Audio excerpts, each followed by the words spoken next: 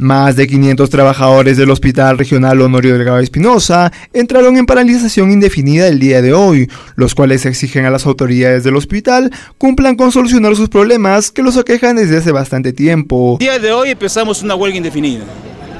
Ya está comunicada con su debida anticipación y continuaremos hasta que solucione nuestro problema. ¿De cuántos trabajadores estamos hablando?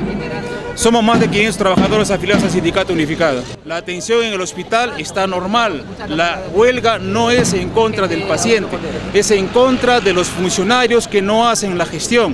Si ustedes se acercan a las instalaciones del hospital, todo está funcionando en un 100%. Para gusto Contreras, las autoridades del hospital no asumen con la tarea de solucionar los grandes problemas del nosocomio, tales como la entrega de uniformes adecuados para el personal, la entrega de materiales y medicinas para la óptima atención de los pacientes, perjudicando el servicio. Y hasta la fecha no se ha determinado exactamente la entrega de los uniformes y, también no hay alimentos, no hay productos para preparar alimentos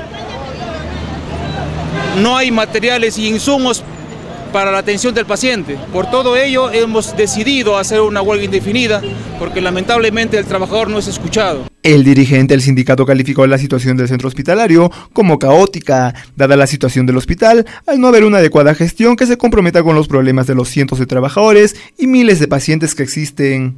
Lo único que queremos es que este hospital sobresalga. ¿Es caótica la situación del hospital?